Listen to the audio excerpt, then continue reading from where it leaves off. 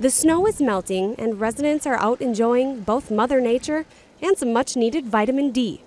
Spring ushers in a time for renewal, and in Bloomington, it means a large cleanup is approaching. The curbside cleanup program started in 1960 and continued through the 1970s. Uh, public works staff picked up all the material at that time using uh, our equipment and city forces.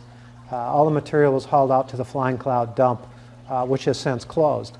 Uh, the program kind of stopped for some safety issues. There was just not a good way for the staff to pick this up. So the program stopped, then it was reinitiated in 1998. It was brought back by popular demand. The residents wanted to see this program again. About 80% of the population here in Bloomington participated in the program. The 2013 curbside cleanup dates start on April 13th with residents who live east of Portland Avenue. It will continue every Saturday until May 11th when the last collection area west of Normandale is serviced. A lot of the things that we see out there for, that are put out for the curbside cleanup could be recycled or repurposed. We strongly encourage everybody, if the stuff is usable, that they contact Bridging or some of these other sites to recycle what they have. Give it to another use, give it to somebody else who needs it. There are nonprofit organizations in Bloomington, like Bridging, that would happily take your items previously destined for the curb. We love the concept of the cleanup, and I understand for folks it's easy to put it on the curb, but boy, it would be great if they would think about how that piece of furniture or lamp could be repurposed and reused for a family in need. Because a lot of times that stuff that's on the curb, you drive by it and you're like, it's in really good shape. Bridging is the largest furniture bank in North America, and demand is high right now.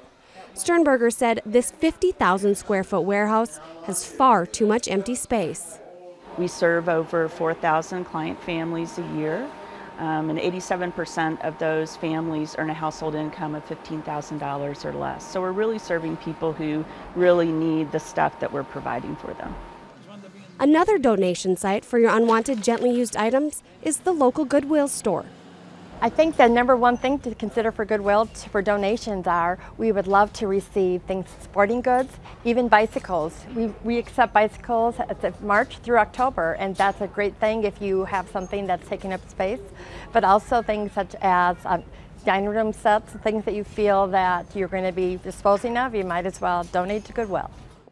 The Goodwill store in Bloomington is a busy location, and of the items sold here, 85% of each dollar goes directly toward its mission.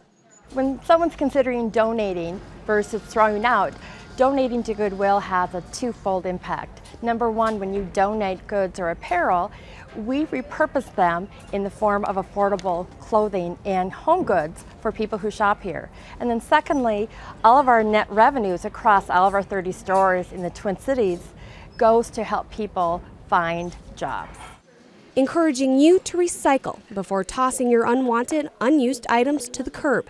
We think that's a great way to start the new spring season. For more information or a guide to donate, visit each of these companies online.